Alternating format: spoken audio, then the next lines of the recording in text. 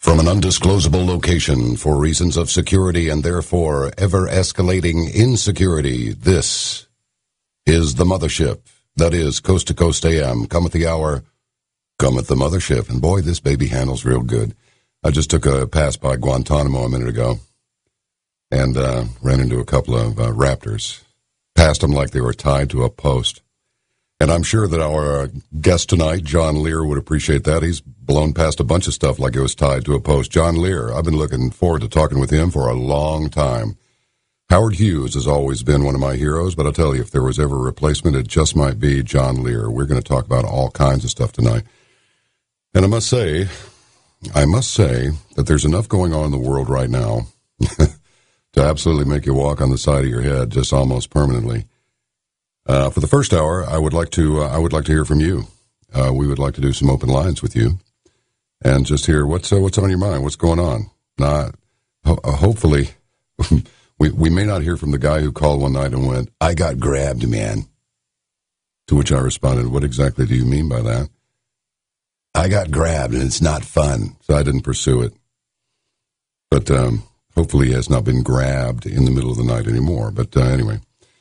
Anything that's on your mind? Uh, anything you want to get into a little bit on the one program that we'll discuss things that's just not going to happen over the mainstream media? I, I, I like them personally, but I don't understand why some of the things that are happening in the world are not being discussed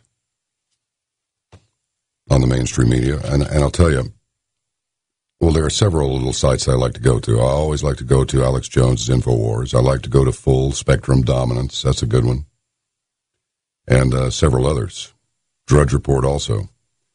But over the last, uh, oh, 48 hours, it's been everything from Taliban in drag. Yes, we are the angels, okay? The feds fined a man for taking a group of people on a Bigfoot hunt without a permit.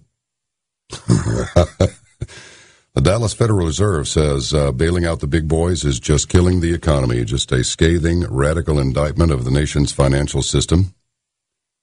450 million rounds of 40 caliber, that's 10 millimeter short. 40 caliber Smith, uh, Smith & Wesson is the caliber. Smith developed it. Hollow points, been ordered by the Department of Homeland Security. 450 million rounds. And uh, word is there's 170 million rounds of .223 that's been ordered by that outfit also. I wonder why they need that much ammunition. Captain George Noory had Linda Moulton Howe on Thursday night. And she was talking about um, a lot of disturbing things, the uh, the ever escalating, the ever escalating way. I mean, what Well, don't you just have to wonder what are we in such a big hurry for? It seems like all of this is just getting quicker. Let me give you let me give you a little idea here. This this got my attention big time. A patent has been awarded for behavioral behavioral recognition surveillance software system. The American surveillance state is becoming increasingly advanced, expansive, and capable of processing huge amounts of data at blinding speeds. Now, Behavioral Recognition Systems, Inc., also known as BRS Labs, has developed an artificial intelligence based system which supposedly can automatically recognize, automatically recognize human behavior. Technology which seems similar on the surface already exists and is being used on surveillance platforms like the IntelliStreet's streetlights. These streetlights are outfitted with a, a great deal of surveillance equipment. They're reportedly capable of monitoring activity and telling the difference between certain behaviors while also being able to tell the difference between humans and animals. this does not bode well for us. So I have a question for you. Did anybody hear about the uh, gigantic arms uh, seizure down on the Arizona Mexican border? Just within the last few days. All kinds of stuff. And there were a lot of um, inscriptions on the various grenades, grenade launchers, and uh, semi heavy weapons uh, according to the report that I read, there's nothing crew served there. These are, into, but you know, you don't need a crew for a lot of stuff to cause a lot of problems. A lot of Arabic writing on them, stuff like that. There seems to be a um, a Hezbollah presence that's being utterly and completely ignored. Throw into the mix, the Sheriff Arpaio is uh, claiming that this is re- a really, really bad uh, fake job on our um, chief executive's bona fides. It's absolutely unbelievable. More gun laws in the wake of Trayvon Martin's case. A lot of people trying to use that tragedy to their uh, to their own advantage. I'm talking to you, Sharpton, and this will grab you. Maybe this will grab you in the middle of the night. The FDA has deleted 1 million signatures for the GMO labeling campaign. David Icke says this is not a bloody game, and he's bloody well right. And just in case you want to know, there's been a 17 trillion dollar hole found in Obamacare. The Supreme Court is working on their decision now. It's quite interesting to listen to that little deal. You know, I can't think of anything more paranormal than what's going on in this in this world and specifically in, in our country. Thanks very much, everybody, for uh, joining us for the, uh, little live chat that I uh, was privileged to be a part of on Wednesday night. I hope we can do that again. And in the meantime, if you have something on your minds, I wish you would like get it ready for us because we would like to hear from you. All of us would like to hear from you. Now, I got to tell you this. As I told you, I'm a told you, and I'm a told you. And many of you listened, but some of you did not listen to me. California slammed with Fukushima radiation. Here it comes. Oh yeah, it's radiation. Here, here we go. Don't touch the dial. It may be radioactive. The journal Environmental Science and Technology reports in a new study that the Fukushima radiation plume contacted North America at California, quote, with greatest exposure in central and southern California, and that Southern California's seaweed tested over 500% higher for radioactive iodine 131 than anywhere else in the U.S. and Canada. Projected paths of the radioactive atmospheric plume emanating from the Fukushima reactors, best described as airborne particles or aerosols. Blah, blah, blah. Want some more? All right. Subsequent atmospheric monitoring showing it was coming in contact with the North American continent at California. And so, when you go to the Coast website, you're going to see many things. What is he talking about? Well, for example, we have on the um, the highlights carousel John Lear's moon anomaly images. Wait till we get into this. If you haven't heard John Lear speak on these matters, you're in for a real treat tonight. Disturbing and wonderful at the same time. There's a video on the uh, Coast website of Jupiter's UFO. And um, there's Where Has Everyone Gone? You'll see. CoastToCoastAM.com. And uh, in the news, new images of Titanic shipwreck revealed. Navy says we're four years away from laser guns on ships, exploding dinosaur myth burst by scientists, imaginary monsters of U.S. cities, and crowds flock to French town for UFO rescue. When you get finished with that, click on the host button. Names will drop down. Click on mine. Go to the bottom of the uh, extraordinarily long write up. I'll edit it when I get around to it. There's too much on there. And click on that link down at the bottom. Pay that link a visit. It might help you. All right, we'll be back with some of your calls. And if no one calls, I'll read the phone book. Just kidding. Just kidding. I will not read the phone book. And if I do, it'll only be numbers. All right? Mount up. The caravan to midnight leaves in two minutes on Coast to Coast AM. Okay, welcome on to the bridge, everybody. Let's talk to uh, Jack in Michigan on Wild One. Jack, come up to the bridge and talk to us. Jack, are you there? I'm not hearing Jack. In fact, I don't hear a thing. Well, all right, then let's go to Marcus in Ontario, California. Marcus, are you there on Wild 2? What's going on, dude? Good to Uh, hear just, Just hanging in there, man, out on the clothesline and it's raining.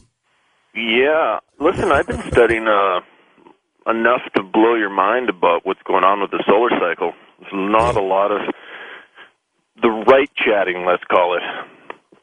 It seems Well, tell us about it, man. kind of What you got? veered off into the, the forest without the trees to see. I was wondering, maybe I'll give you an option of where you want to take this. Would you like a better answer on what the end of the Mayan calendar means? Absolutely, positively, I would. Would you like to know what this rumbling in the earth has to do with the sun and the Yes. planet and how they're configured in this fancy academic term called heliogeocoupling? You know I want to hear about this, and you know the. Uh, our, Hold on, I'm going to keep teasing you for a sec. Hold on. Would you like to know how the cells in your body transmute via pineal gland hormone neurotransmitter production via the Schumann resonance via the sun via the cycles that the Mayans seemingly had a pretty good handle on. Not that anyone's talking about these cycles in the exact vernacular that we need to be discussing them in, but I'm kind of leading us down the alleyway, if you will. Yeah. Take it where you it. want. No, let's. Uh, you just start wherever you want to. This all sound, sounds very interesting. Well, First of all, before you begin, let me ask you this now: How did you come by this information? well, there's a lot that uh, you've never heard about because there's only a handful of geeks that are brave enough to weather the storm in the back of the libraries and to use their student accounts to uh, search for things that may or may not get them an A on the next exam. But these are academic reports in part. These are translations in part. I mean, the academic uh, vaults are very deep. Most people will never, ever truly go to the uh, necessary level. Okay, let's hear some of it, brother. Well, there are various solar physics journals that'll discuss things that they just don't catch the they don't have the tread, if you will, to get into the type of discussion that we need. But there's so much floating around. I'd like you to take it somewhere, but I would tell you that the, the end of the calendar is a specious event to push it towards a window of December 21st, 2012. It would take me a little bit of blackboard space to fill that out with you, but the more important thing for us to remind ourselves of, because we will be dropping through a few more dates as the solar cycle picks up, it's important to remember each window that happens with the sun, and I'm going to drop you some predictive windows for just the coast to coast listeners tonight on how this works. But there is a solar algorithm, and I'm going to be dropping not so much of the science behind it because that would take too long, but the actual windows to look out for. My last window that I predicted was March 10th, and we saw some pretty interesting stuff hitting the fan Yes, we did. around that time. I was pretty surprised myself, but it looks like I keyed this one in the right way. And so what we're going to see in a sort of 41 day interval is uh, a type of, and this has been discussed by a solar physicist named Bauer. They're talking about lower than 11 year periodicities. Not a lot of the solar physicists really care about less than 11 year cycles. I don't know why. Don't ask me. But these are important because they're actually going to start to track out a map, if you will, about how we as a society, well, we can get really worked up about it and harden our infrastructure and get all kinds of sophisticated tech to protect our gear because there will be increasing surges on electronic fronts. We should be aware of this. I talked to a radio host here locally on B101, and he was talking about, get this, he's talking about his microwave zapping food and he had no idea what was going on. We were in the middle of a huge solar storm. And I mean, this is obviously not that important, but just to give you an idea, there's going to be implications. Here at my house, we experienced a huge rumbling at 12:30 in the morning, and my wife and my kids, they all woke up, they felt it. It's real stuff. There is effects that we don't understand because we don't understand how gravity and electromagnetism works in the inner mantle because we don't even really have a good handle on the inner mantle. You know what I'm saying? That's absolutely true. Nobody, nobody has been able to explain gravity yet. Right. So key words here for those who are interested. There is something called eutectic forces, which have to do with some sophisticated stuff. We're not going to get into it, but yeah, I want to get right back to where we're sort of going towards. There's a few dates. Do you mind if I drop a few dates down on your head? No, let's go. Well, we just passed March, March, March 10th of 2012. I can actually tie these all the way back to the previous March 9th, which we saw, I got my data here, largest CME since 2005. March 9th was an X1.5. What did we see right around the corner. How long does it take from energy to get from here to the sun and then for the earth to do a little effect? We saw the tsunami effect. Okay, let's let's just these are all tied together, okay? So it's important. We can Keep go backward rolling. and forward in time and I can verify data that's available on spaceweather.com, USGS, blah blah blah. Let's go forward. March 10th, go forward this little time span I'm talking about. These are referred to more technically as multi-cycles, as per Bauer and Solar Physics journals. Next day we're looking at is April 20th. I don't see that being active because it looks like from my data that we go two on one off. Well, we've just had two on, which was January 27th by my calculations, which we had an X flare. Then we went to March 10th. Then we're going to probably have one off April 20th. Then we'll get back on for May 31st, July 11th.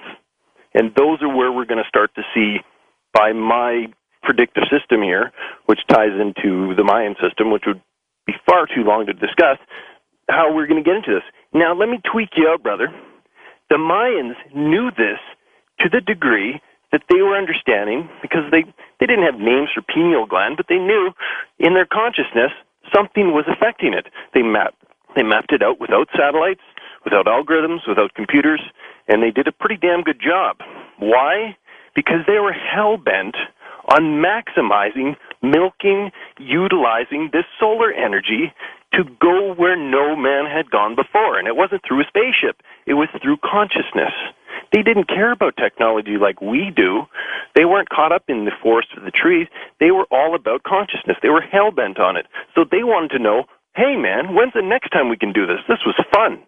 Okay? So it's not all about doom and gloom. You might lose a couple hard drives. That's not the end of the world. You should back up, I would remind you, on optical drives. Very safe source. Not magnetic imprinted. They're optical, right? So I'm going to cover both bases here metaphysical and electronics so everybody can be cool. You want to take this anywhere? You can go with it. Just keep rolling. Well, what do you want to hear? You're you're Well- you're the great. You're the you're the captain. Well, let me like ask you this. I'm like Sulu up front, dude. Well, okay, all right. Now listen, what I want you to do at some point is, uh, you know, my email address is John B J O H N B as in Bravo at coast to coast am dot com. Send me an email so I can stay in touch with you, and uh, maybe we can explore this further at length because I want to get some other people on. But uh, I was looking at this um, must see disclosure: new ancient Mayan artifacts found. It's a YouTube deal, and you know anybody can put anything on YouTube that they want, and and some uh, of the presentations are better than others. Some of them are are total um, what, what what would we say um, uh, bovine based bioeffluent effluent of vegetable fertilizer. However, some of them are, are, are spot on. So, if, is it because the Mayans weren't all that interested in the technology, or if these drawings are to be believed in these carvings, did they have regular contact with the UFO guys and therefore didn't need to be technologically adept? They just needed to roll with the effect of the technology. Is he gone? I stick with the scholars because Okay. it's not so much that they're not translating the dates accurately. They are doing a very good job with the dates.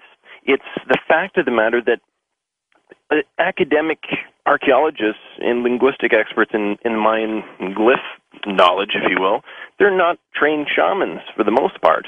No, but I'm just? I'm, what I'm asking is, do you think there was some UFO uh, extraterrestrial crossover there that just said, okay, these are the UFO guys. They've got the technology covered. We will just cover the things that we need to as a people, and um, Well, without this is getting the thing. technical, This we'll is thing, John, is that it's a slippery slope, dude. When when you're looking at altered states of, of mind and truly masters of that, and then talking about al- altered d- dimensions, and then talking about you know these these beings that exist in several dimensions. So when you look at the minds, you're talking about people who were communicating with other dimensions and they had superfluous access with it. That's why they didn't care about technology. They had something that was literally better.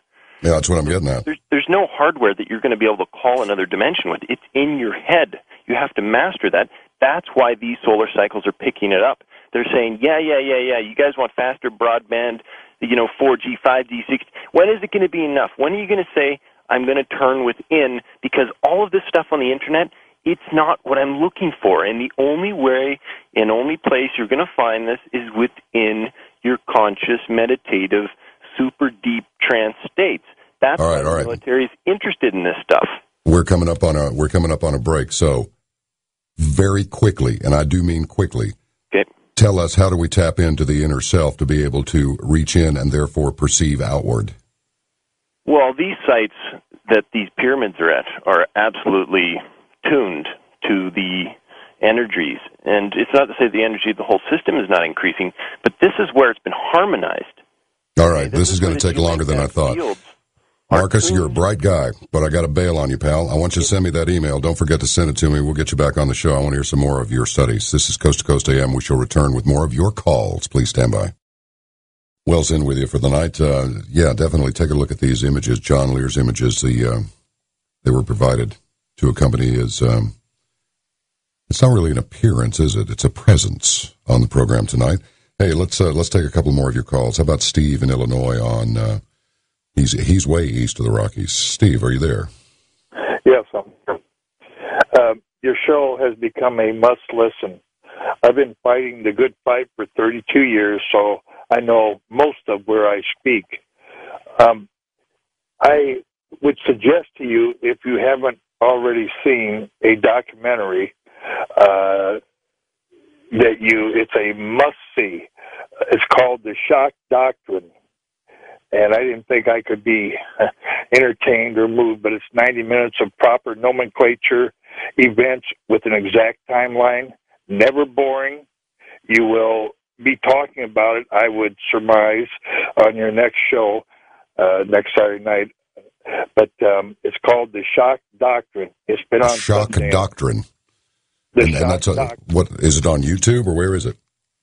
Well, uh, Sundance had it. Um, I'm not sure. Uh, I bought it. It's twenty bucks on your. Uh, you can get it off the uh, net and that. But uh, John, uh, take it from me. It's something that you're going to have your jaw dropped.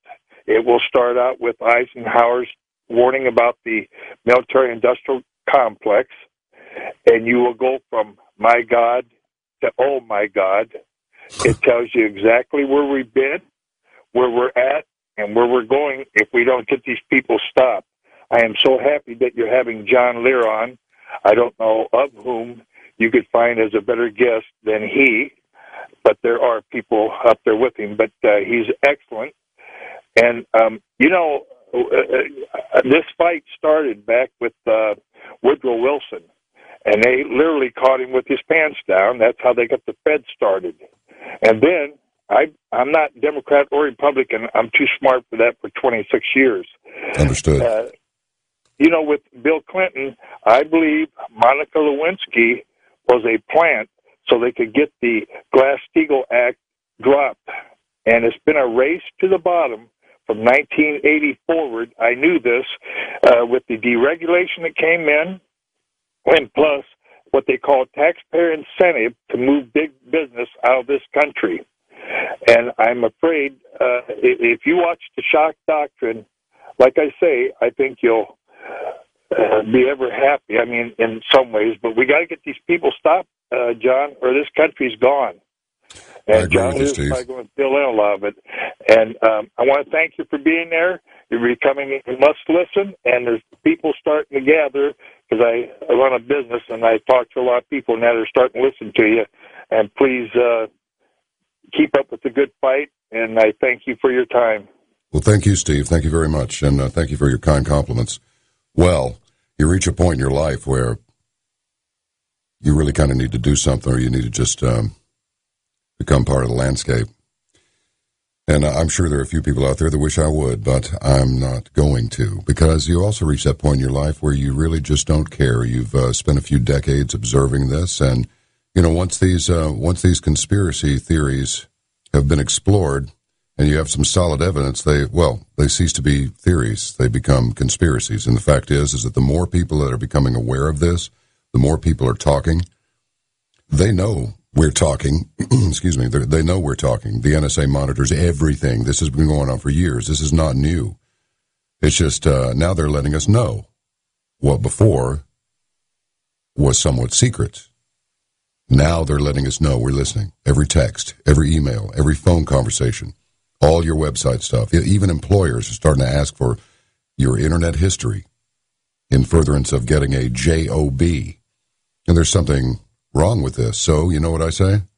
Keep pushing. Keep pushing. Keep revealing.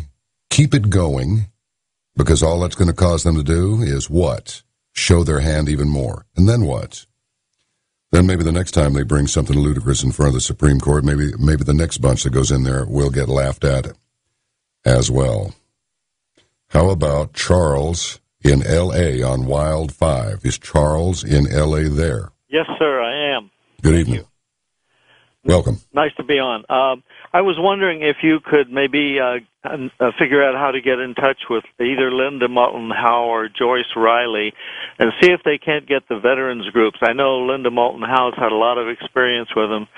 Get the veterans groups to uh, try and get rid of the Federal Reserve. Somebody has to, and I, I don't know, you know, who's going to do it. But uh, the Federal Reserve, the Council of Foreign Relations, uh, and the IMF uh, basically been controlling this country for 98 years. And they have close to 500 people monitoring the news media coast to coast. That's why you don't uh, hear about UFOs and the things you really need to hear about. Well, it's undeniable at this point. Yeah. And uh, you know, it's funny after being around the uh, around and in the news media for for many years. You know, you find out pretty quick that that the the whole story doesn't come from your station. Doesn't all come from Channel One. We have the best news. Well, maybe you do, and maybe you don't. But you get little pieces from all the different channels, all the different sources, and then you put yourself together a picture, and and there you have it. They think But, they're uh, very clever. You know, the Medal of Honor is the symbol of Satan. Oh, there you go. The I didn't know that. five-pointed star. Yeah. See, here's the thing, man. There, there are a lot of vets out there that are going to go, "Oh man, Wells, if you let him get away with this, it's like you can just go to H E double L." But it's like, look, not, the the thing is, is that I don't know that for a fact. Maybe, maybe you do, but I will tell you this: nothing would surprise me. And, the, and these people who are running things, they're they're pretty smart people. There's no doubt about it. Don't ever don't ever get the idea they're stupid. Oh no. Evil, evil is stupid, but uh, some of the perpetrators of it are pretty clever. Have you seen Inside Job? I have. Yeah. yeah. Also, they're bringing all our troops back. Any of the if they survive, they come back here. You know, they they're firing all the weaponry over there with depleted uranium, so all of our troops are getting poisoned. And if they don't come back and uh, you know commit suicide or do some dastardly deed like that one guy did, apparently, if he did, killing 17 people over there. Uh, because they go crazy with that uranium poisoning, a lot of them. You know, their diet's not that great in the service, and Well, and what did they send him back on a fourth tour for? I mean, weren't three enough for the man? Yeah, that's true too. Also, Susan, uh, you had on about a month ago. Susan, Lindauer, yeah. yeah, can you have her? Are you going to have her on again? I You bet I she- will. I think she'd be good for about uh, three hours. She's great, That's what I'm thinking. I'll just sit back and have a proper cup of tea and let her talk. That'd be great. and Hey. you might ask uh, John Lear if uh, if our, if our uh, ETs have. Made a lot of the UFOs uh, of our government uh, inoperable. Uh, people sometimes ask why uh, we don't land. They don't land on the Was- Washington lawn. It's because there's no sign of intelligent life there. Yeah, I'm with you. Well, thank you very much for your call. Thank you very much. And uh, okay, let's see. Well, we got a couple of minutes here. And we certainly do. Maybe even longer than that.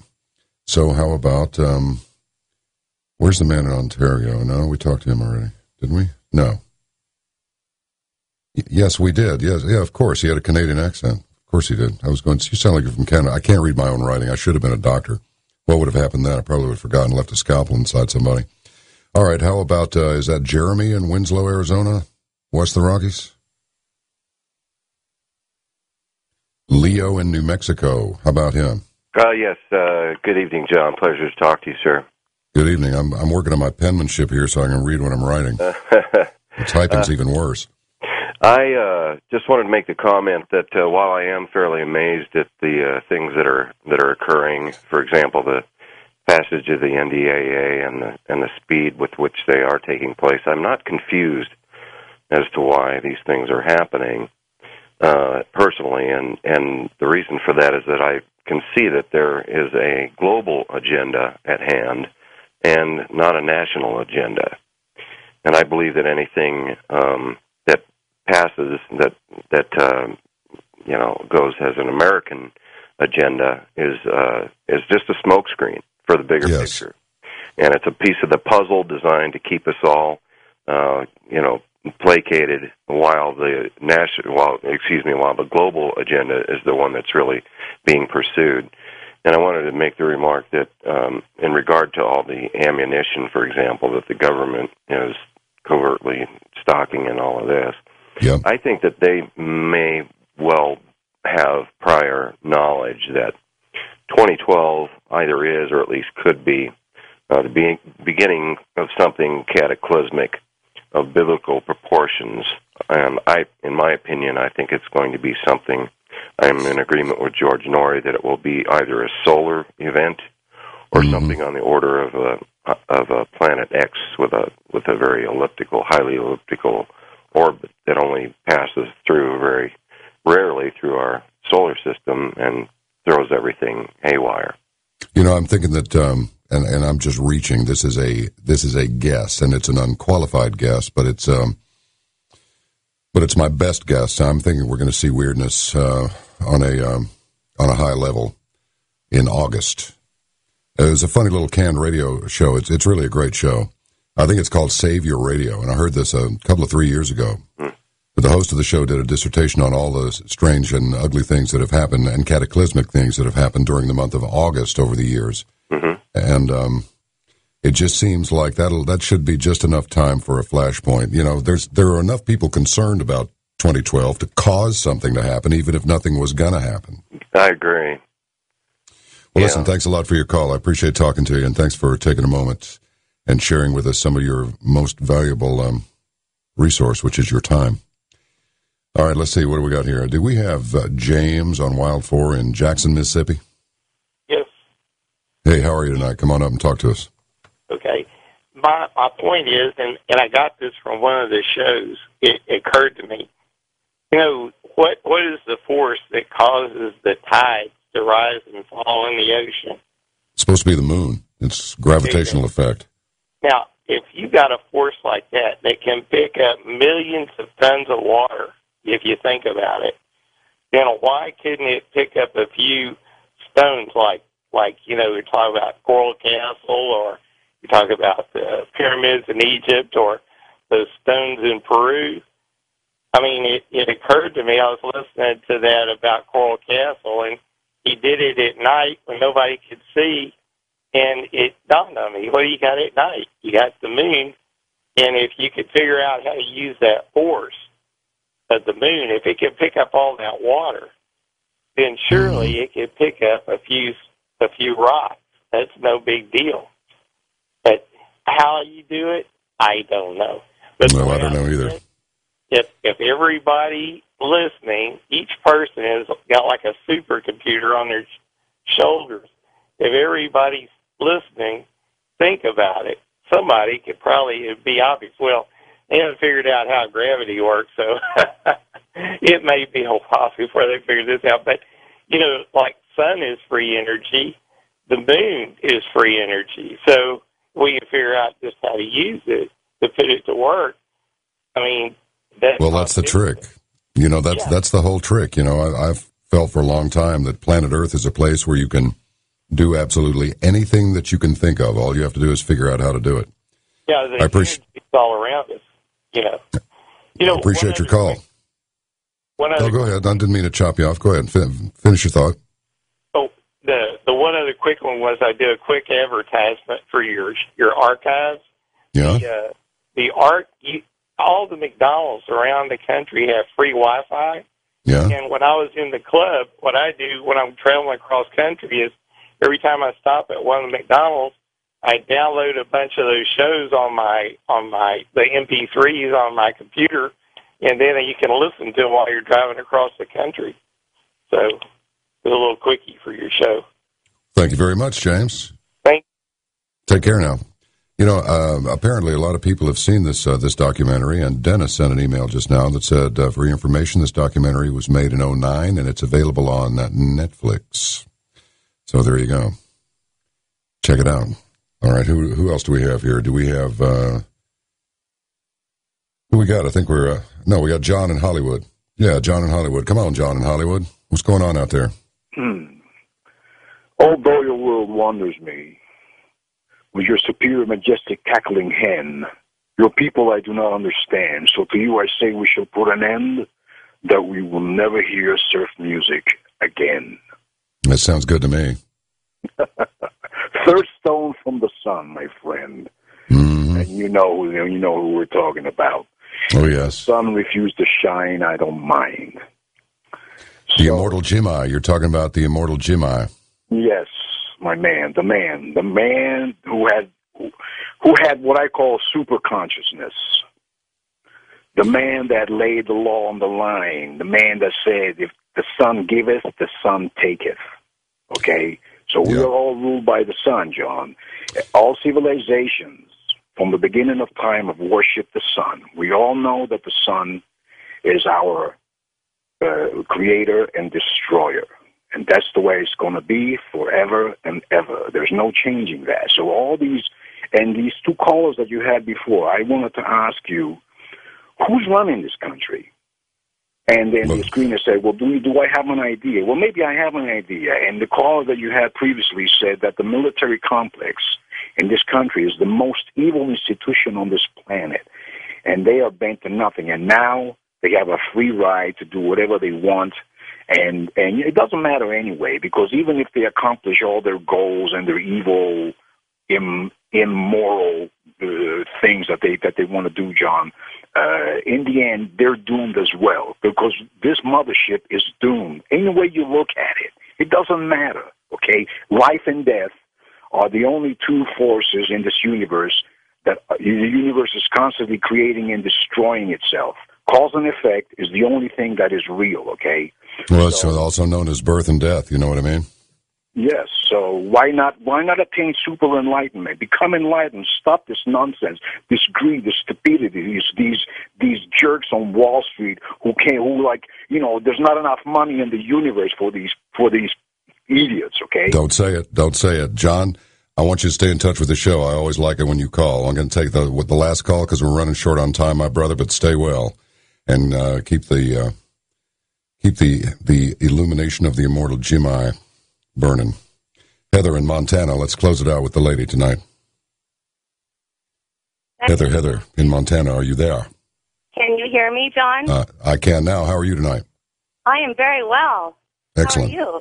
Pretty good, thanks. Good. I hear we're short on time, so you are going to get John Lear on tonight. Yeah, yeah. We're going to have John Lear on in just a minute. You've got about thirty seconds, so tell us what's on your mind. 30 seconds. Well, I just want to tell everybody your planet is alive. I am here walking among you to, to walk a mile in your shoes and see what you're living with in real time. I am on the front lines with you all, and together, if you will not go to your places of power and neutralize the evil that is in authority over you, at least point at them and laugh. Excellent. It will mortify them. It will Excellent. mortify them when you have no more fear of them, when they know they can't control you anymore. That's beautiful, Heather. Thank you so much. John Lear is coming up next. Heather, that was that was very nice. This is Coast to Coast AM. Strap in. All right, stand by here in just about two minutes. Two minutes. The great John Lear will join us for an in-depth discussion of everything you ever wanted to know about aviation, some stuff about space, and none of it is normal. We like it like that on Coast to Coast AM. Well, John Lear, as you may know, is a retired airline captain, a former CIA pilot, as well as of, as the son of the famous inventor of the Lear jet. And I think the eight trap track tape player, and I heard the automatic direction finder for aircraft, but we'll get into that later. I may be wrong, but probably not. He's a Lockheed uh, L-1011 captain, and he is very highly regarded in aviation circles. He's flown over 150 test aircraft not normal aircraft, test aircraft. He's won every award granted by the Federal Aviation Administration. He also holds 18 world speed records and has worked for 28 different aircraft corporations. During the late 1980s and early 1990s, John began coming forward with some startling revelations concerning the subject of aerial phenomena and those things known as UFOs. Welcome onto the bridge, John Lear. It's been a long time I've been listening to you and wanting to speak with you in person. Well, thank you, John. It's uh, nice to be here.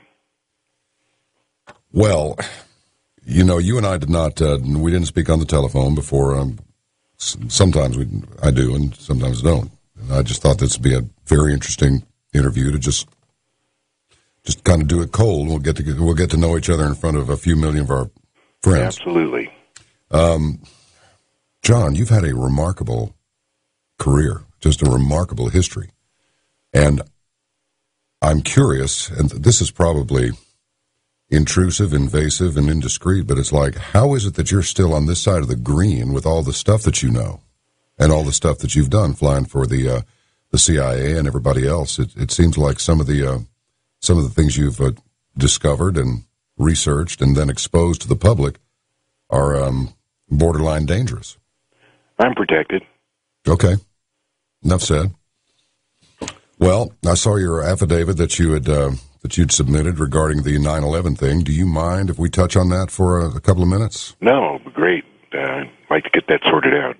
Well, here's the thing. Uh, my uh, take on on your affidavit was like it was totally impossible uh, that this this thing happened the way it's been told to the public at large, from the um, from the inability to get this, the aircraft to that speed, the inability to hit a target that's that size at that speed, if you could get it to that speed, and stuff like that.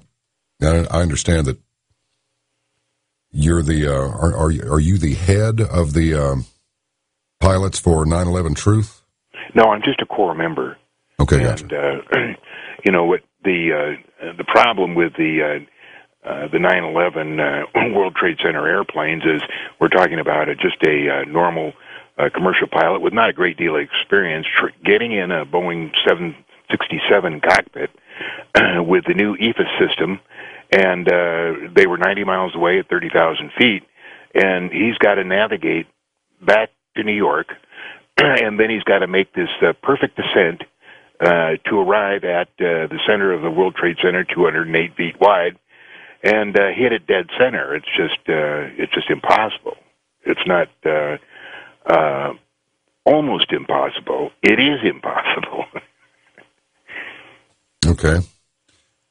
I didn't see a lot of aircraft wreckage outside the Pentagon. No, the uh, Pentagon was a flyby, and uh, I suspect that um, Chic Burlingame was at the controls, and he was um, uh, uh, working with uh, Cheney on the exact on the exact uh, program of um, of a terrorist attack on the Pentagon, and the witnesses that they that pilots uh, for Truth have uh, saw the airplane come by the uh, the gas station, and then uh, some of them didn't see what happened to it after it. After that, none of them saw it crash into the Pentagon, and one of them saw it uh, uh, go over it and beyond. It probably went over and, and landed at Andrews Air Force Base, which is just a few miles beyond over the uh, Potomac. But there was no uh, wreckage there. Uh, April Gallop, who was sitting 40 feet from the where the blast went off. She was sitting there. She's uh, Army intelligence, and uh, she happened to have her six year six month old son sitting below her desk in his car seat. Now she had normally taken him to where they, you know, uh, take care of the kids when when the moms go to work there at the Pentagon. But uh, they told her at the door, "No, go ahead and take him on in." So she had him there, and when the blast went off, uh, she saw no airplanes, no missiles, no drones, smelled no uh, gasoline. She did smell explosives, cordite, uh, but uh, no kerosene, no jet fuel, no nothing like that. And she picked up her six month old son put him on her shoulder, and crawled out that hole in the Pentagon and out to the grass where triage was taking place. And she eventually ended up in the hospital where Army intelligence showed up later and uh, started uh, telling her that she saw a plane. And she said, No, I didn't see a plane. And she said, Yes, I did. And she said, No, I didn't. And that's been an ongoing argument between her and Army intelligence. She's been in a lot of lot of problems since then. It's too bad she has to take the rap for this. And, and what is and what's her name? April Gallop, G A L L O P. That's very interesting. Well, you can uh, Google her, and uh, she's a very interesting woman. I've seen a couple interviews that she's done, but no, there was no airplane that uh, went into the Pentagon, and uh, no bodies, no nothing like that. And if there that. was, why wouldn't we, of all the ha- all the 158 cameras around, why can't we just see one picture? Just show me one picture of a of a Boeing uh, 760 or 757 in that case, um, making that descent and uh, perfect descent and flying at one foot across the grass and uh, hitting the Pentagon. It did not happen. It's, it's ridiculous.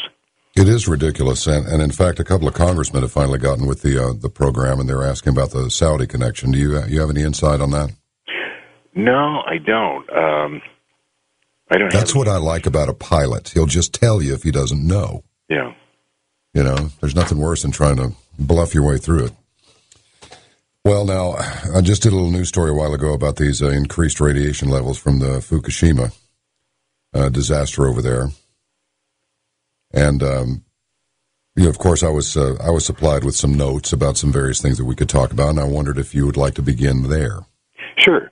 People are uh, under the impression that there was a 9.0 earthquake over there that triggered the tsunami. And uh, if you look at any of the videotapes, you'll see that all of the um, uh, the uh, uh, high buildings, many story, multi-story buildings are standing. All of the towers are standing. Anything with a spire is still standing. There was no 9.0 earthquake. What it was was an atomic bomb set off about 50 miles uh, to the north or to the northeast in the ocean to create the the tsunami. And the reason that was done is because um, um, uh, Mossad had found out that uh, that um, the Japanese were secretly selling high grade plutonium to Iran, and this was the payback. And uh, wow. Israel had just gotten the contract to uh, run the security for all 52 nuclear reactors there in Japan. and uh, what they did is, after they set off the uh, atomic bomb, they uh, set all the controls so that none of the emergency systems would work and so that put uh, Japan in a in a real problem. And you know, who knows how far-reaching that problem is? Well, as long as we're talking about Iran, the, is it your opinion that we're going to go forward with the conflict with them? You know, I don't know, but there's one interesting thing that not many people know about. We have built, the Navy has built, uh, a couple of um, uh, destroyers, or battleships, I mean, uh, that are completely remote controlled. There's not one single person on them. What they do is they, uh, for all these uh, um, computers and controls that uh, run the battleship, uh, there's a place on the back, a fantail, where a helicopter can land, and there's nine um, computer programmers that uh, can land a helicopter and go and fix anything that goes wrong. And then they take off, and then this thing can go anywhere uh, guided by satellites. And uh, you know what I would think that we'd use it for is to sail it out in through the Straits of Hormuz and provoke an attack uh, where Iran uh, bombs it, and then we say, "Oh, all our poor Americans are dead. Six hundred uh, Americans are dead. We're going to retaliate," you know. And then, you know, where in fact nobody's dead. It was just a, a remote control battleship, and that would, you know, provoke the the fight.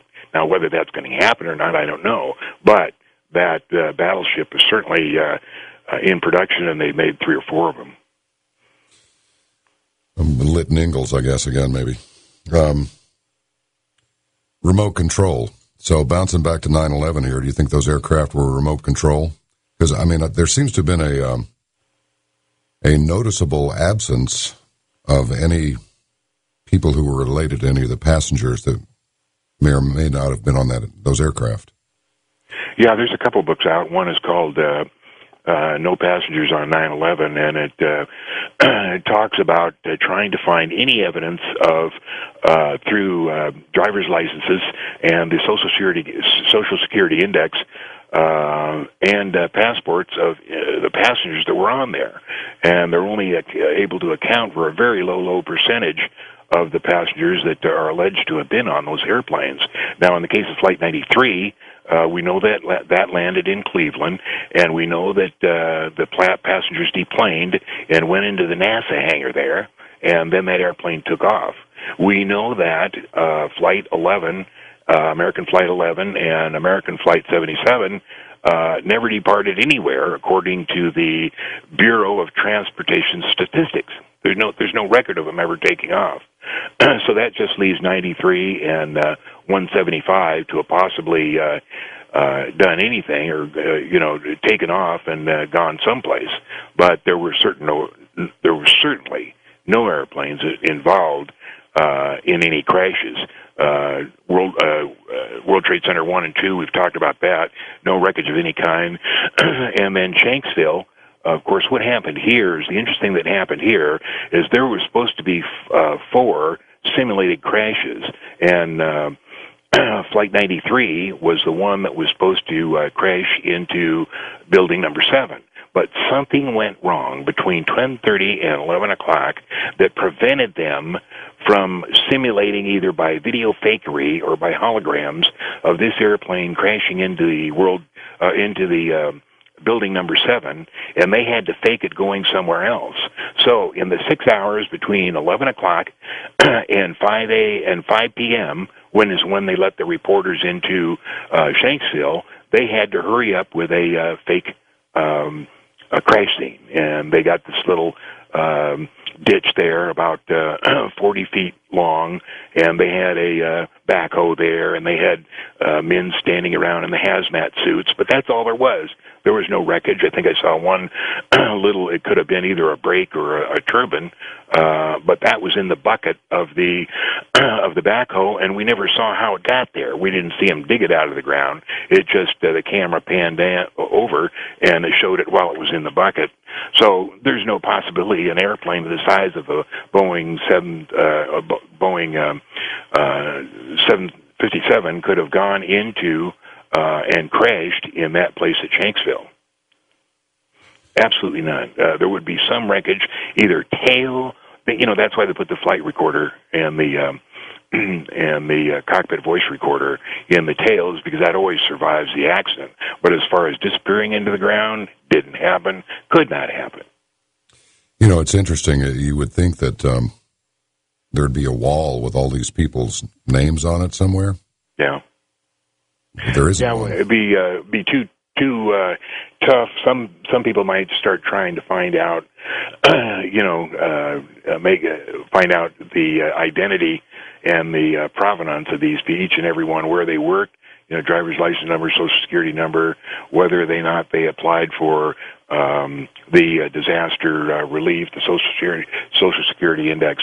Um, so they wouldn't. Uh, they have you know done uh, nothing as far as providing uh, that information. It, it was a mess up. They uh, they didn't plan it uh, fully, and whoever they are, uh, there had to be a small group because they didn't want any leaks.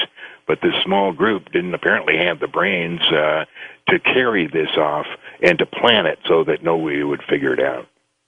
Well, it's interesting. Like in the case of Building Seven, first you say in in in one video you see a little penthouse, just a smaller building on top.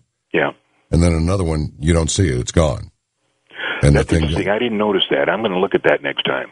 Uh, it's it's it's really kind of obvious. Uh, NIST's version is uh, there's there's no little. It's it's just a small little penthouse. It's almost like a utility building on the roof, and you can see it there. Well, because of the way the thing imploded, it went down first. So they just picked up their video after it had disappeared from view and then went, okay, here it is coming down. It's just like, wow.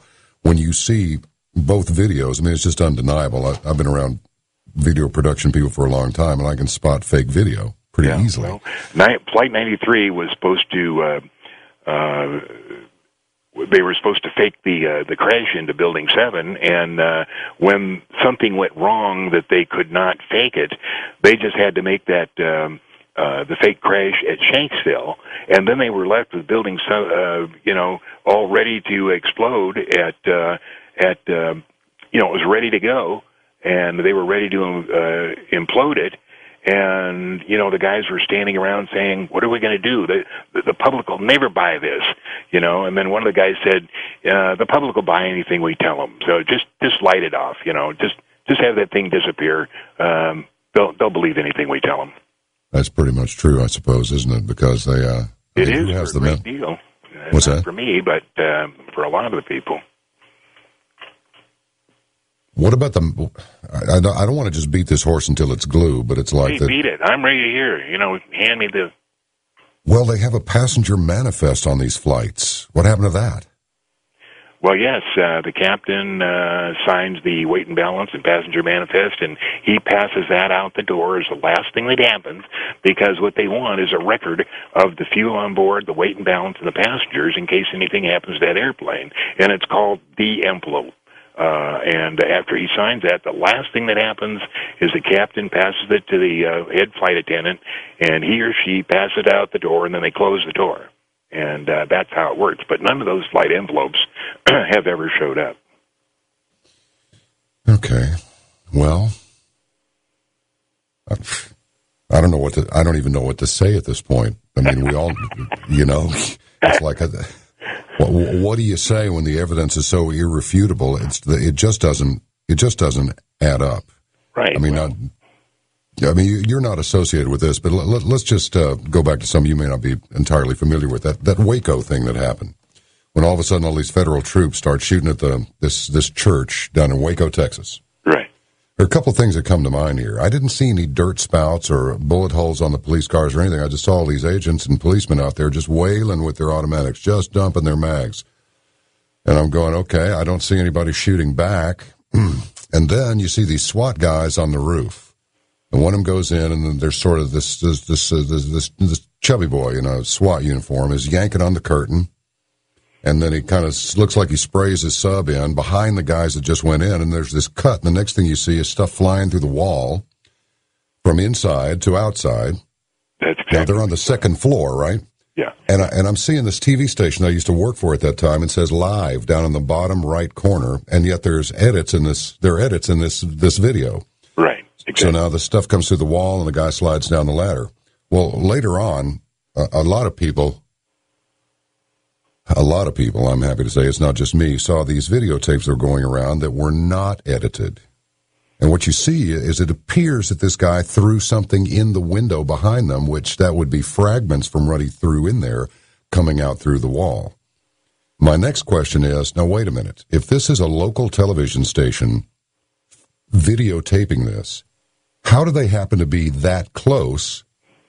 And how is it that they got that camera up to the second floor level, you know, and framing these people going through the window in it? It's just like, Exactly. Exactly. I mean, was this like some? Was this like they borrowed the Hubble telescope or something for the day?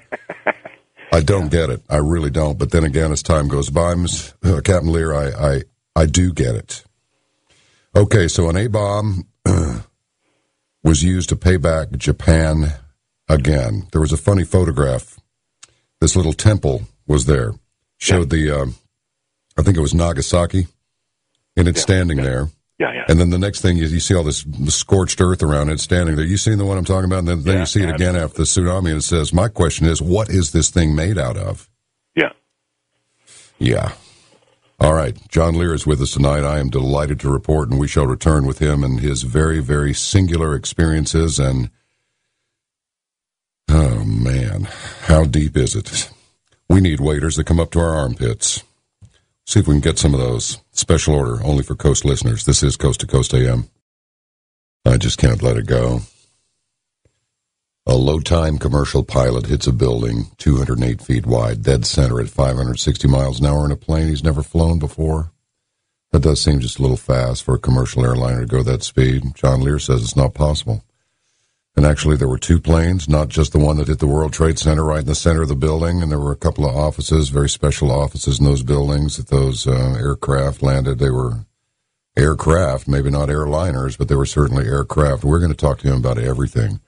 We'll uh, we'll we'll stick to the terrestrial subjects first. But there's so much to discuss with John Lear tonight. Underground U.S. Navy submarine base in Nevada. Civilization on the moon. But before we get to that, I want to talk about TWA 800, and we will do that. Back in two minutes. This is Coast. John Lear, it's good to have you with us tonight. Um, let's go back just a little bit because we've we've got some uh, we've got some time here, and rather than just um, rather than just sort of putting you out on the clothesline by You know, talking about these things that are difficult to believe. Yeah. I just want to amplify a couple of things, and in, just in the interest of uh, of credibility, because I see your track record. There's there's there's no way that a man with your credentials is just going to pull stuff like this just out of his hat. Notice I use the word hat. so, so so here's the thing. Let's go back to this thing with Japan. Are you asking me to believe that a nuclear bomb went off in the ocean as payback? I mean, is that is such a thing even possible? That is such an enormous atrocity. I have no doubt that there are some uh, evil uh, little goblin kings and maybe even some queens out there that would do such a thing. But what what suggested to you that that's, that this thing actually it, it was a real event? Uh, the guy that wrote the whole uh, scenario, he was there. He knew all of it that was going on, and I forget his his name, but he used to still be on the uh, the web and outlined all of this in incredible detail. Uh, what happened? And uh, my only, you know, question: if you don't believe it, just tell me where the 9.0 earthquake was. There was none. All the uh, buildings are still standing. The only damage that was done was by the uh, the tsunami that was created by the uh, atomic weapon. And this was payback because Japan was providing Iran with uh, nuclear material. Um, yes, uh, high grade plutonium for their uh, reactor. Okay. I wonder if they've got a fire set yet. A fire set? Yeah, something to once they make the bomb to actually let it off. You know. Yeah. Triggers and so forth. I wonder. And uh, then going back to the remote control battleship, and then bouncing from that over back to 9/11. Do you think these were remote control aircraft that uh, that did the deed in New York City? No, there was no aircraft. What were they? What was what? The, the oh, aircraft the, that uh, did how the did buildings. they do it?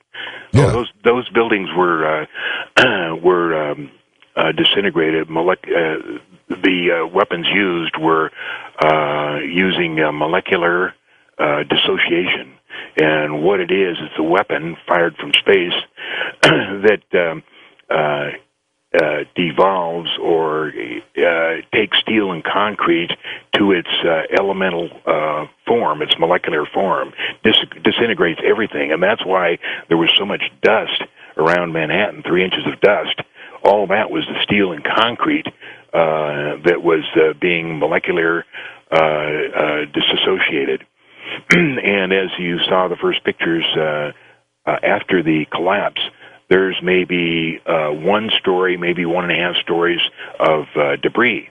Uh, if it had been a conventional explosion, if it had been a nuclear bomb or, or um, uh, you know, some kind of conventional explosion, there would have been at least 15 stories of uh, of uh, wreckage there, uh, building materials. But there was nothing left. Uh, there was only dust, uh, which got uh, uh, tinier and tinier. As a matter of fact, now it's 10 years later, and uh, what happened is they didn't know, whoever they are, the power of the weapon they were using. And the problem was they found out uh, that it was um, self generating. And after they had uh, eliminated everything, the process kept going on so that uh, every time they tried to elect, uh, erect a steel or concrete building on that same spot, uh, that it would uh, uh, turn to rust and um, and start to disintegrate. So what you see there in the place of um, the World Trade Centers where they were is pools, and uh, they've got water there, and they're building around it, but they're not building on top of it because they can't. Um, because that, that process of what they unleashed uh, is still going on. Well, then what did we see? If, if aircraft did not hit the building, what what's the deal with the videotapes and so forth? You saw the buildings imploding from the top, and as it fell, it disintegrated. Nothing got to the ground. Well, I mean, what about the Oh, aircraft? well, wait, There's- about the airplanes. That was video fakery. that was uh, uh, video inserted by the uh, A. Uh, what do they call that? Uh, E4 the uh, Doomsday Airplane, they can insert uh, video into any television station they want at any time they want. Um, in uh, several of the uh, television stations, they inserted that video. It didn't always work correctly, but uh, that's what it was supposed to uh, to look like. Now, I've said that there's a possibility that they use holography, and uh, the technology is there has been there for 20 years to use holograms, moving holograms that have uh, that have light, uh, sound, um, and uh, and you can see them on broad daylight. I mean, it, you don't need a screen or anything. You can project it into thin air, and I thought that that might have been used, and I still reserve that possibility. But uh, basically, it was some kind of video fakery that uh, the public was shown of those uh, of the the only airplane that we saw. Um, that uh, went into uh, well, let's see, building number the uh, South Tower. That was uh, United Airlines 175. Well, this is unbelievable to me. It, it's just uh, I, I don't. I feel a little subdued uh, actually because uh, if this is true, then well, I suspect we're in deeper stuff than we think we are, and most of us perceive that it's pretty deep already. Well, there's a book out called uh, Where Did the Towers Go, written by Dr. Judy Wood. And if you can get a hold of that book, it's uh, about 600 pages. Uh, it's very, very detailed. It tells you exactly what I'm telling you, but uh, in more detail. It has pictures, graphs, four color uh, pictures and graphs, uh, and it tells you uh, exactly what happened. Uh, and uh, except that it doesn't make a uh, um, a decision on whether it was from space or, or where it was. She doesn't say it was a spaceborne um, weapon. She will not say it because she doesn't know. And uh, but she tells you the exact method of what they used, and they used part of uh, the energy to uh, create this uh, to create this uh, um, force that disintegrated the buildings using um, Hurricane Erin. And Hurricane Erin had been carefully uh, put together by uh, HAARP and uh, by other processes, and it was uh, driven up the East Coast. It took six days, and on this on the sixth day, it was right there, a 100 miles off the coast of New York, and they were able to use somehow the energy in that uh, hurricane to pull off what they did. And then, of course, after this, the hurricane marched off into the uh, into the northeast. What's interesting is on the radio programs or the TV programs that morning, there was absolutely no mention of a hurricane bigger than uh, Katrina, a hundred miles off the coast of New York. But if you get this book, it's called where did the towers go? Um, Judy, Dr. Judy Wood lays it out, you know, perfectly. Anybody that I know that's read the book said, "My God, that that uh, lays it out. That's it." Uh, John, tell us some things about HAARP. Everybody talks about it, but nobody's really. Uh, you know, I don't know a lot about it, but they can control the uh, atmosphere. They control the weather. Uh, the Russians have the same type of stuff, and, and they can do the same thing. Um, what they uh, can do basically in controlling the weather, they can create hurricanes. They created Katrina, and you can see the uh, radar um, recordings of that uh, Katrina marching up towards the north in a straight line, uh, dead towards uh, New Orleans and just splitting off to the uh, veering just a little bit off to the right as it got to uh, New Orleans and created all that havoc. But that uh, that was somebody controlling that. They built the hurricane and they moved it and they put it where they wanted. Same thing they did with uh, with Erin and the Oklahoma City uh, was a prelude to 9/11. The same damage that was created in the Murrah building is uh, what we see in um, in the World Trade Centers uh, one and two, and the and the other buildings around uh, World Trade Centers one and two.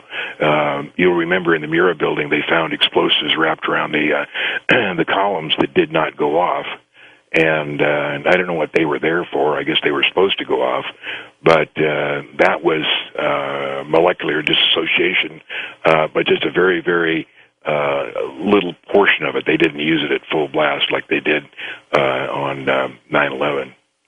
But if you take a picture, as a matter of fact, uh, Dr. Woods shows that in her book. She takes a picture of the Murrah building and puts it right uh, next to a picture from uh, 9/11, and the damage is identical. This is remarkable. All right, let me ask you this then. What about TWA 800? Well, TWA 800 uh, happened years ago, and it was the uh, uh, one of five airplanes that the U.S. Navy has been able to shoot down accidentally. The first was a TWA Constellation uh, full of um, troops going to Vietnam in 1963. Uh, it was uh, uh, a Flying Tiger airplane. I worked for the Flying Tigers. About went to work for them about a year after that, and uh, I knew a lot of the inside stories on that.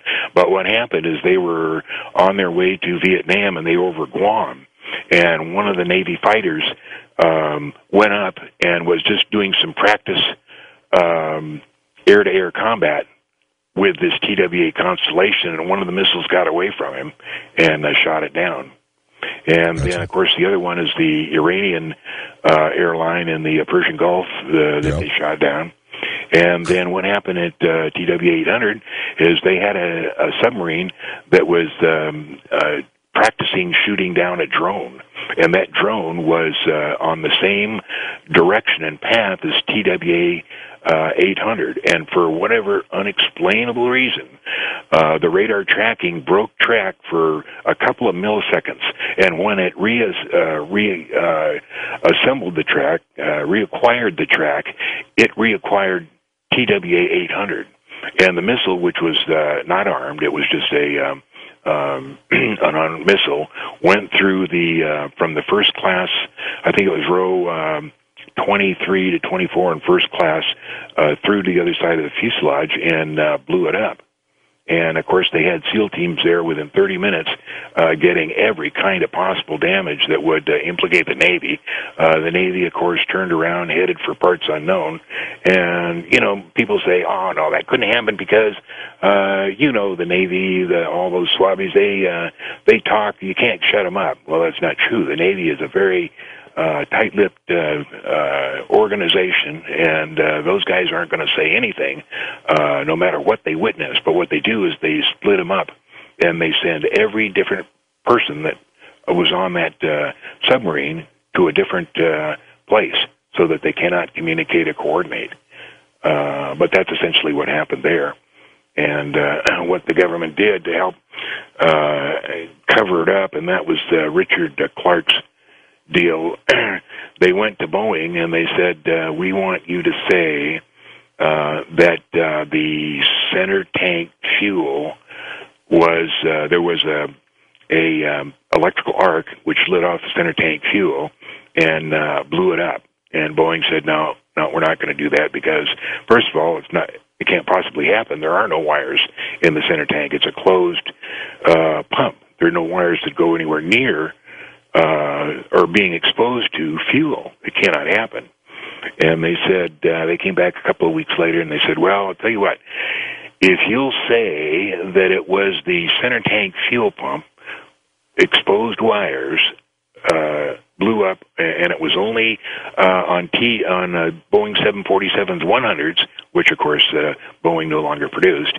They said right. only on 100s we'll let you uh, merge with McDonnell Douglas, and of course Boeing had been trying to merge with McDonnell Douglas for six years, but they were tied up in the uh, antitrust legislation, and uh, and they just couldn't get it through the courts.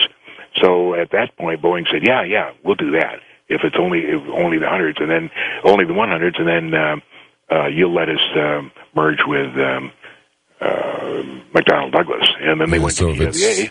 And they said, and of course, TWA knew the real story uh, about the submarine. So they told TWA, if you'll keep your mouth shut, we'll give you a, hundred, a three hundred and sixty-eight million dollar loan uh, that doesn't have to be paid back. And um, that was the uh, the payoff to TWA to keep their mouths shut. And the only persons that that lost in all this were the passengers. They got nothing. What about? Uh, let me ask you this, uh, and then we'll we'll move on to to uh, some other stuff that's probably equally traumatic. What about that one that that Airbus that went down over Rockaway Park right after a 9/11? That was a bomb in the uh, left uh, aft cargo compartment. And that's on several videotapes and the uh, cameras that are around there. But what they couldn't have is a uh, terrorist attack a couple of months right after 9/11, and after we'd made the, uh, you know, the threats that nobody will ever do that to us again, and we're going to do this and we're going to do that, and, and boom, happens again right there in in LaGuardia, and uh, so they couldn't afford that to happen. So they came up with this BS story about uh, about the co-pilot um, using too much rudder to counteract the uh, uh, the wing uh, vortices turbulence and a wake turbulence.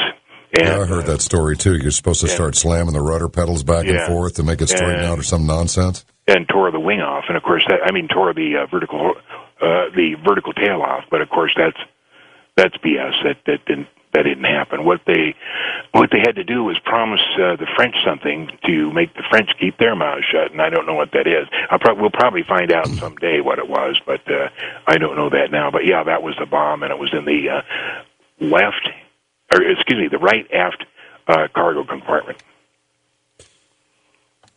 John, I'm tempted to almost wax juvenile here as uh, we come up to the uh, top of the hour, and that is, you know, you see these old uh, these these uh, films that were taken back in World War II, and uh, you see a Marine out there just just letting off with one of those uh, those Browning 1919s, just chopping up people like I mean, they don't even look like people, just chunks coming off of people. So I mean, I know these things happen, but philosophically speaking, I mean, if there's even any room for that left in this reality anymore, what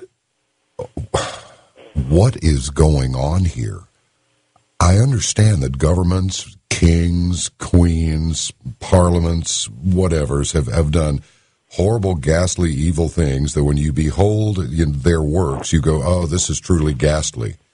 But this seems just a little bit over the top to me. I mean, how how deep is are how bad is how bad is the world right now, John? well, fortunately, John, you and I don't have to worry about it because the reason we're here on Earth is to um, mature our souls. And the people that made us, made humankind, put us here in this kind of prison planet so that we uh, go through all these uh, experiences and learn how to try and live with integrity and without envy, hate, or greed. And uh, ours is not to worry about all this or try and rectify it. It's to live our own lives and to improve ourselves. Uh, not always say, well, we got to stop this guy from doing that and that guy from doing that. What we're worried about is uh, maturing our own selves. And uh, when we finish with this uh, tour, uh, we go up to um, a fantastic place where they review all the good things and the bad things we did in our lives. and if we haven't learned to live with integrity and without envy, hate, or greed, it's uh, boom, back down to earth for another tour. Uh, if we did make the grade, then we go out to go in this wonderful, fantastic, um, limitless uh, universe that's around us. Unbelievable, fantastic things that uh, that are ours for the uh, the taking as soon as we learn how to live with integrity and without envy, hate, or greed. Excellent. So, in the end, it appears that it really is all about love. Well, we're going to carry on with our most singular discussion with the one, the only, John Lear, on the one and only Coast to Coast AM.